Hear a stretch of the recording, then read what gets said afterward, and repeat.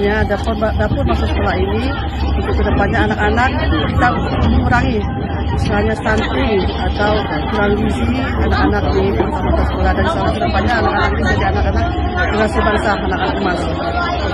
Dan terima kasih karena TNI telah turun ke sekolah-sekolah untuk melihat kekurangan gizi dari anak-anak. Semoga ke depannya nanti anak-anak kita baik di Kabupaten Lebong ataupun seluruh Indonesia itu akan menurun uh, tingkat gizi buruknya itu akan menurun. Seperti itu aja.